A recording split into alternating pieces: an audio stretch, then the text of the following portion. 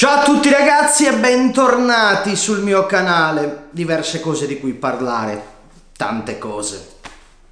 Allora ragazzi, innanzitutto ci stiamo avvicinando a questa gara eh, Bologna-Juve che io non riuscirò a guardare, sapete bene quali sono i motivi e quindi non farò il post partita.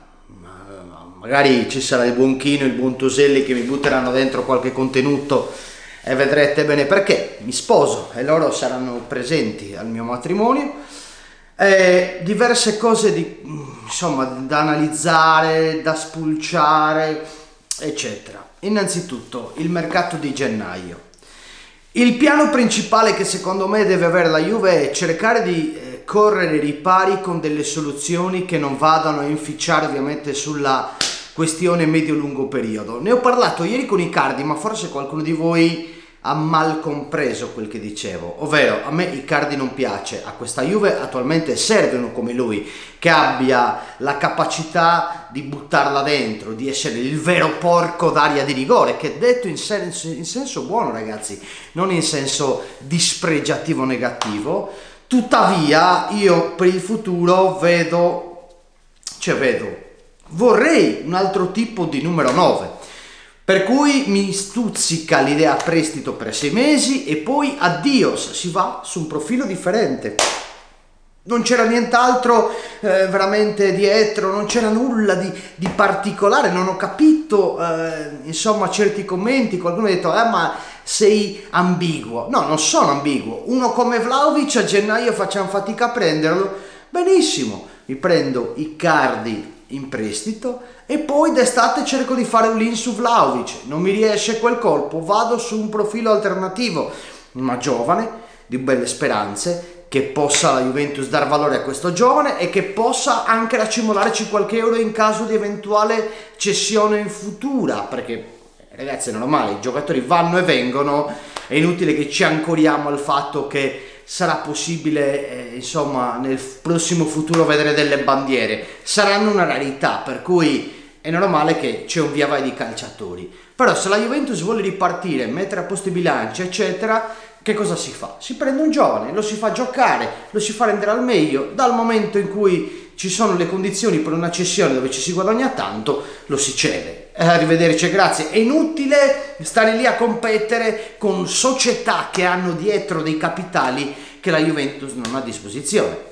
Capitali, ragazzi, intendo non Exor, perché Exor ha le spalle larghe, ma ahimè le squadre devono avere una certa sostenibilità economica nel tempo. Ci sono squadre come in Premier che hanno molta più sostenibilità, perché i diritti TV sono eh, insomma importanti. Il costo, eh, il costo degli stadi sono diversi, infatti se si va in Premier a vedere una partita si spende tanto e i guadagni per le squadre sono eh, insomma di conseguenza proporzionali a quello che è il costo del biglietto. Quindi capita bene che là girano altri capitali.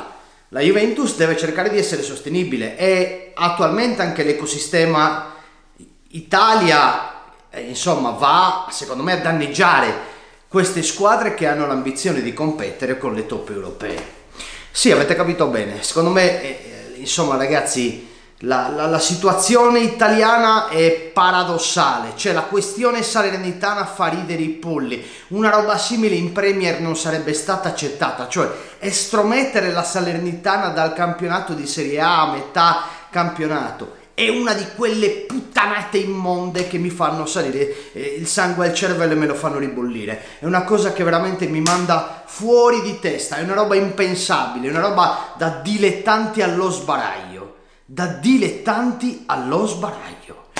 È una roba incomprensibile per me, è una follia totale, una cazzata immonda. Cioè, ragazzi, togliere una squadra, immaginate avere un evento in meno ogni, ogni partita praticamente, cioè ogni partita di, di, Serie A un evento in meno e una squadra che non gioca, per cui tanti soldi in meno, cioè questa roba qua danneggia al di là di tutto non solo l'immagine all'estero, che quella è la cosa più importante, perché come cacchio vogliamo presentare, cioè gli altri paesi che vogliono vedere la Serie A, con queste porcate qua, un po' di serietà per cortesia. Poi secondariamente danneggia la Serie A perché il gioco, cioè io aspetto la domenica per vedere la mia squadra e magari la mia squadra proprio in quella, in quella giornata ha il cacchio di riposo perché la Salernitana è stata estromessa dalla, dalla, dalla Serie A e doveva giocare là. Io ragazzi non so che dirvi, cioè perdiamo i venti, perdiamo la faccia e l'immagine è normale che la Juventus e squadre simili verranno ridimensionati nel medio-lungo periodo a fare una tipologia di mercato eh, diversa da quelle che fanno i grandi club che prendono già magari dei giocatori top. Noi dovremmo accontentarci di far crescere i nostri e di dare sostenibilità in questo, in questo modo. E quindi questa è la situazione. Ci tenevo a parlare anche della Salernitana perché è una situazione che va a toccare indirettamente o direttamente anche la Juventus da questa situazione. Cioè, è veramente, ragazzi, una vergogna totale. Sono imbarazzatissimo. Cioè, io fossi uno della Lega, mi dimetterei della Lega Calcio, intendo, e eh, non della Lega Nord. non c'entra nulla in questo momento. Della Lega Calcio mi dimetto. Cioè, fossi uno del marketing della Lega Calcio, mi dimetto perché veramente c'è incapacità veramente di portare il nostro prodotto anche all'estero. Cioè, dove noi dobbiamo, immaginatevi ragazzi, è come, eh, guardate, siamo noi che dobbiamo cercare di colmare quel gap con intelligenza, con innovazioni, con i... e invece facciamo queste porcherie qua, cioè facciamo peggio danneggiamo ulteriormente il tutto. Hai presente quando devi cercare di sistemare qualcosa e danneggi ulteriormente? Sia in questa roba qua noi della Lega Serie A. Per cui, per quanto riguarda ragazzi le cessioni, secondo me la, alla Juventus sono tutte in discussione, per cui ne sentiremo di cotte di crude in questo mercato di gennaio che sta per iniziare si parla già di Kuluseschi cedibile, Rabiot non se ne parli, Ramsey non se ne parli, Bernardeschi che deve ancora rinnovare, Di Bala che non ha ancora rinnovato ma siamo lì lì perché Jorgan Tune a Torino quindi rinnoverà, Morata rischia il, non, insomma, il fatto che la Juve non lo vada a riscattare, ci si parla di Cardi in prestito, Vandanara lo spinge ma lui vorrebbe rimanere a Parigi, ma cazzo Mauro, che cazzo fai a Parigi? Vai a Disneyland, cioè che cosa vai a fare a Parigi? Non stai vedendo il campo neanche col binocolo. Io queste cose non le capisco, però farebbe comodo uno come lui, ma in prestito senza obbligo di riscatto, sia chiaro. E poi andiamo su un profilo giovane, questo è quello che servirebbe per aggiustare un pelo la stagione. A centrocampo si parla di diversi nomi, vediamo, vediamo quel che, che, che emerge. Fatto sta che ragazzi il ragionamento alla base di tutto è sempre uno Fuori uno, dentro un altro, fuori due, dentro due. Cioè non funziona che prendiamo qualcuno con questa complessità e eh, con, con questi numeri in rosa.